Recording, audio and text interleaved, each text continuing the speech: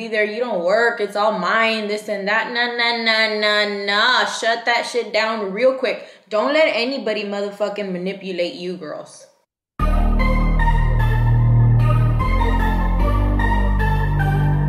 Hey guys, good morning. Welcome back to my channel. I just woke up and whatnot. How was y'all's New Year's? I didn't vlog for New Year's because it was super boring and cold and I wasn't gonna be vlogging with the camera in the freezing cold. My husband's side of the family didn't really do anything and neither did mine, so we just hung out with some friends waited till New Year's and then went home, basically. I wanna go ahead and talk about this topic that I saw on another woman's channel. Her channel is called Feminine in Flats, and her channel is all about being like a stay-at-home mom, being a good wife, and things of that nature. And she brought up some things that I kind of disagree with, and I kind of don't. So I wanted to go ahead and talk about all that with you guys. She was saying how if you want to please your man, you as a woman have to be submissive to the man and you as a woman should let him take the lead role in the household. How do y'all women think about that? What do y'all think? You think she's right on this one? Or are we boss ass bitches and we ain't gonna let anybody tell us what to fucking do? I am kind of stuck in between the two. And here's why. I'll tell you why. Because every man is different, okay? Every man is different. Some men like independent women some men like for the women to do everything on her own, you know? But then there's some other men, like mine, for example, who he wants to do like all the work around, like he, how do you say it? It's like an old school marriage, like old traditional, I guess you want to say. You know, he brings home the bacon, I cook it, shit like that. You know, he wants to be the the head of the household and all that. So yeah, I, it just depends on who you're married to, I guess, right? Uh, and she, I'm gonna bring up this point here. Should stay at home moms work? Here's the thing. Here's the thing, guys. I am a stay at home mom. I have not worked for about five years now. And my kids, both of them are in school, so I'm here at the house literally with no kids. So I guess you could say I'm a stay at home wife, right? Now, here's the thing I understand if you are a mother with newborn children who, or, or child toddlers, you know, who are not in school yet. I understand that. I would stay at home for sure. Um, but here's the thing women like me who already have um, their kids in school, uh, not now because I know we have all this pandemic going on and most of the children are doing online in the home. So that brings up a whole different scenario. I'm talking about when life gets back to normal and everybody is normal again, okay? So, should we work? And I'm gonna I'm gonna share a little piece of my opinion here because I'm a stay-at-home mom and I'm telling y'all from experience, five years experience,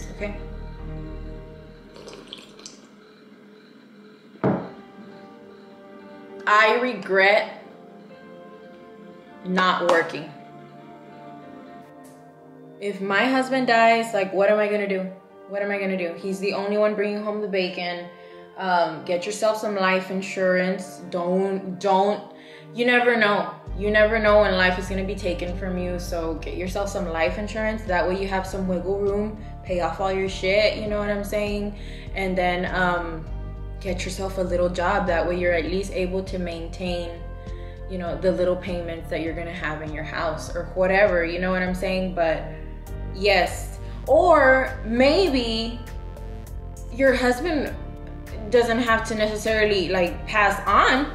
What if the nigga just decides to fucking cheat on you or or or you know has a an affair and he's living a double life and he's out with the other chick you know what i'm saying like what if that happens to you because it can happen don't ever think you're safe you can be so in love and have the most awesome sex and and and next thing you know, the nigga be cheating, the nigga be motherfucking out there and about with his his his other families and the, the chick's pregnant. Next thing you fucking know. Now it's up to you if you want to tolerate with that bullshit, but what if he doesn't even want you? What if he's like, you know, I have another family, bye, I'm out. You know what I mean? That can happen. It can. And you haven't worked all your life, and so you're kind of just there like, well, what am I gonna do? When you don't work and you're just at home in your safe, perfect little bubble, you forget how it is in the real world. You know what I mean? Like you're basically crippling yourself. At least this is how I feel. It could be different for other people. You know, we all have opinions. Calm down, haters, okay? Uh, but yeah, this is how I feel. Um, you get crippled. I am so scared to get a job. So scared. Like, I, you know, you forget how to communicate with people. You forget how to, you know, have the basic communication skills that you need to, to work. You know what I mean? Like, and then also people treat you shitty when you get a job you know what i mean? You you you're not used to people telling you what to do. You're not used to getting lashed out for doing something wrong. You know all that stuff. All that stuff is is pretty intimidating when you haven't worked and you've just been home um, in your safe zone right? So that is why I would personally suggest if you're a stay-at-home mom and you don't have like your children are in school and you're basically free free already like me, I would like volunteer at least somewhere or get a little part-time job somewhere just so you can be a part of the world and not scared uh not scared to join the world when you're ready. You know what I mean? So that's my opinion on should women work or not. Now, all you boss ass bitches out there, where you at? Where you at, girl? I see you. You gonna buy me a cup of coffee or what? I'm just kidding. I'm just kidding. Mm. Here's the thing though. There are different types of men out there. My husband doesn't want me to work. He wants me to be a stay at home wife. He doesn't want me to suffer out there in the crazy ass world with crazy ass people. Some husbands are like that. But I've also met husbands who want their women to be independent, who want them to work, who want them to make their own money, and who want, you know, their own damn bank accounts. And, and it just goes back to the same thing. It just really depends on who you're married to. So that's that. But now, should we be submissive to our husbands? Hmm. Should we let our husbands take the lead role in the household? Should we let the husband wear the pants? What do y'all think about this? This is an interesting topic and I can go all day talking about it. So here's the thing I agree with this one a tad bit in my case because like I said every every man is different but my man personally I know he wants to feel important. He wants to feel like he's a man of the household. He wants to feel like he is appreciated and um, not necessarily in charge. She brought this lady who brought up these topics, she brought up a good point. She said, because we're not really giving them power, I guess you could say, because in a marriage, it's 50-50. You know what I'm saying? Like you're united and the ultimate big decisions or even little decisions, like you're gonna agree together. If my husband needs a new tire for his Harley, he's gonna come tell me, babe, I need a new tire for my Harley. You know what I'm saying? If I want to go buy myself a damn pair of shoes, I'm gonna be like, hey babe, I'm gonna go buy me some damn pair of shoes. You know what I'm saying? Like it, it's the communication is always there. So I don't necessarily think we're giving them a higher a higher hand. You know what I'm saying? But in I, I want to say we kind of make it feel that way so they can be you know happy. You know what I'm saying? He might wear the pants but I'm gonna pick him You know what I'm saying? You know what I'm saying? Mmm. Yeah. But here's the thing though. Okay. There's some very, very, very independent women out there.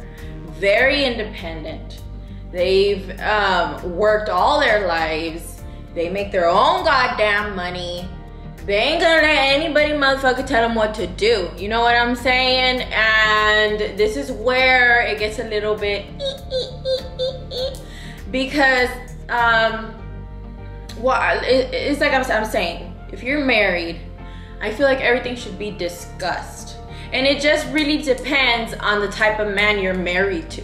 Because for example my man is a hardworking man. He's out there working like his ass off every fucking day or whatever. And but that that's my style of, of men right? But there's other type of men. For example ah, i don't know what these type of men are called. I think it's metrosexual. I'm not sure but there's there, there's a type who want to be stay-at-home dads and, and or take care of the kids you know they want to take care of the kids and they they like that type of, of and, and some women are into that you know what i'm saying? So if that's your type of man you know this, then your everything changes everything changes. Some men are more emotional than other men. You know some men don't want to show any motherfucking emotion and others do you know? Others aren't afraid to cry. And so i it yeah it, i'm gonna keep repeating this. It just comes down to who you're married to. It really does. I know my man likes to be appreciated. He he wants me to see how hard he's working. He doesn't want me to work. Like that's just the type of man I'm married to. You know what I mean? And that's that. Now, this lady brought up a very interesting suggestion. Divorce rates are very, very high nowadays, and she was saying this is probably why. She was saying because men want to feel like they're the leader of the household, and us women nowadays, since we're boss ass bitches, most of us, we don't give them that that type of um, you know, we we don't give them that because we ain't gonna let nobody tell us what to fucking do. You know what I'm saying? Um, and she's saying, and that's probably why divorce rates are so high. Huh? Interesting. Bunch of bull bunch of bull. Let me just motherfucking tell you, okay? I disagree with that one, okay? There is a lot of reasons why the divorce rates are so high nowadays, and I don't think it's because women are independent and women aren't gonna fucking tolerate men telling us what to fucking do. Girl, you go get your money, you go get your motherfucking paycheck, and you pay for motherfucking dinner, if you know what I'm motherfucking saying, okay? Mmm. Now, if you're a stay-at-home mom and you want your man to bring home the bacon and you want to cook it and all that bullshit, you go, girl. I'm here. I'm here with you. Okay, so and and like I said, it all goes down to equality and um, un, un, union, united. Okay, because let me tell you something. Let me tell y'all something. Don't get it twisted. Okay, I am a stay-at-home wife. I cook, I clean, and I do everything that a woman should in the household. Here's the thing though my husband's working. You have to keep it equal.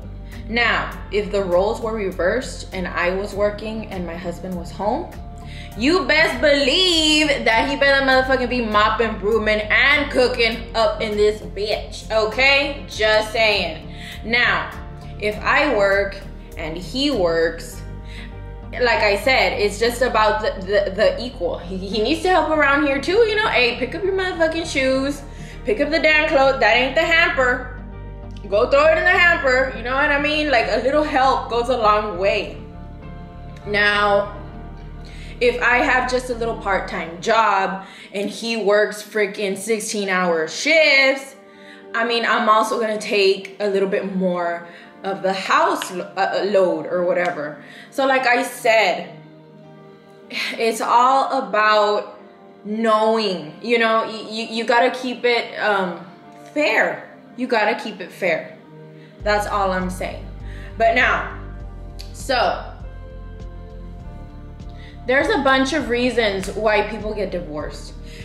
And you can go ahead and blame it on the woman because we want to be fucking boss ass bitches. And sorry, guys, I had to change out my battery. But here's the thing, guys. Okay, here's the thing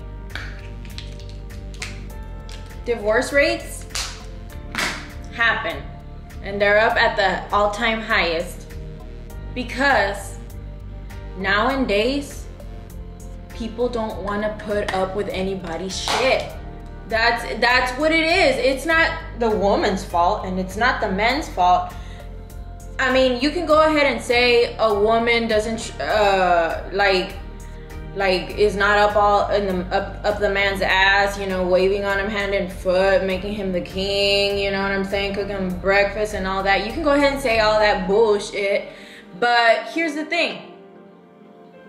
A man can very easily just go out and cheat, abusive, maybe he's abusive, uh, controlling, jealousy issues, you name it. And you have those women too. You have those women who are, you know, like um, shoving the husbands just because they think, you know, a man can't touch a woman and throwing shit at their husbands. To me, that is not cool. Um, I personally don't uh, don't throw or shove my husband or anything of that nature. Here's the thing, I know I'm gonna fucking lose that battle. But here's also the thing, I don't want it done to me, you know? I don't want it done to me and I don't want a toxic ass relationship. That's why I don't do that. When I argue, this is what I do. And it's wrong, but this is how I no one's perfect, okay, girls? I talk a lot of shit when I argue. I get drunk and I'm just fucking running my motherfucking mouth. And everything that comes out of my mouth is 100% bullshit, but it comes out. You know what I'm saying? It comes out, and that's how I cope with my anger. And I know, girl, I know it's wrong, you know, but whatever, okay? Mm hmm. Mm. But it is definite. If you don't want your man to put his hands on you, you don't put your hands on a man. Respect each other. It goes a long way. It goes a long way. There is men like that out there who fucking put their hands on you just for the thrill of it. And that shit is not cool, boo boo. It ain't cool. Get out of your that toxic relationship, girl. Get out of it. You can do it. You can. Don't be scared. But yes, girls, yes. So definitely divorce rates is not our fault. It's not because we're not submissive. Sometimes men don't want us to be submissive. Some men want us to take the, you know, the reins in the bedroom and whatnot. I know I, ain't gonna get involved with all that. Child support. This is what I think on that. I think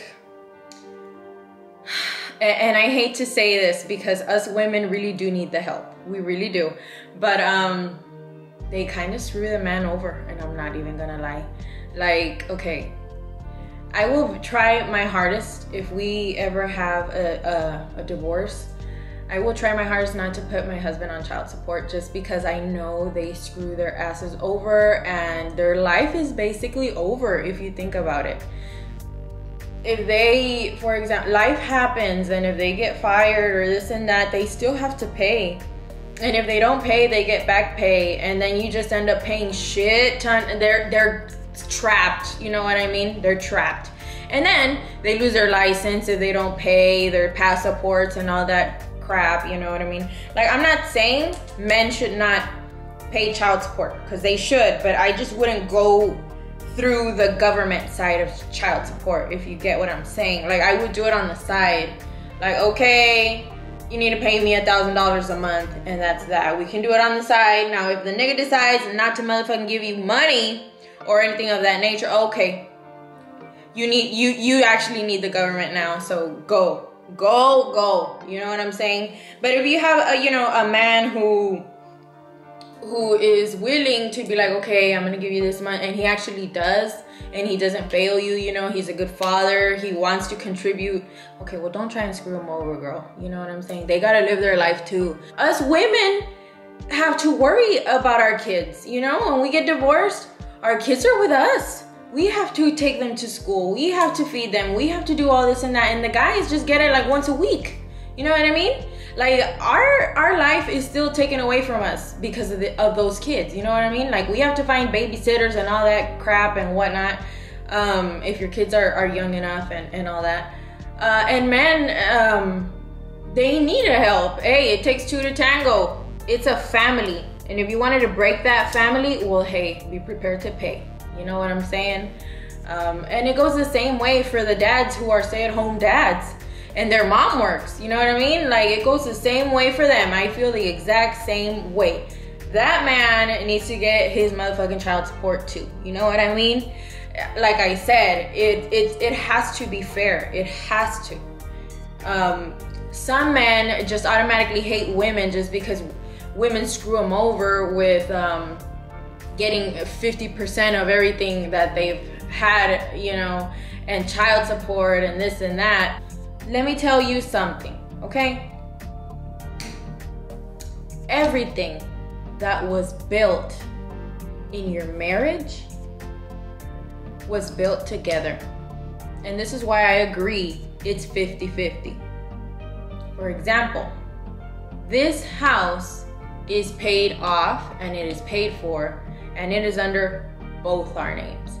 And you best believe that if we get divorced, whoever decides to keep this house or if we decide to sell it is going to be 50-50 for sure for sure.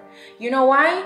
He didn't he didn't he didn't do all this by himself. Yeah he's the one working he's the one making all the money in my situation but you know what girls? I helped him. Who washed his motherfucking pants? Who cooks for this guy? Who stayed with the children and sacrificed their freedom me. You know, I mean, men don't see this because they're so clouded eh, with hatred because they're basically taking away all all the hard-earned money that they worked for. Hey, but we deserve it, okay? We motherfucking deserve it. Okay, girls? For example, like we were about 18 when we, or 19 when we bought our very first home in Corpus Christi. My husband didn't want to buy that house he was scared. It was our very first house, so it was our very first mortgage, and he was scared. And I saw the house, I picked it out, I told him we should go for it. His dad also gave him advice like go ahead buy it. Yes, yes, yes. He he was kind of scared to do it. You see, if I would have been on his side and said no, don't do it, he wouldn't have done it. But the thing is, I was I was cheering it on. I was like, let's buy the house, let's buy the house, let's buy the house.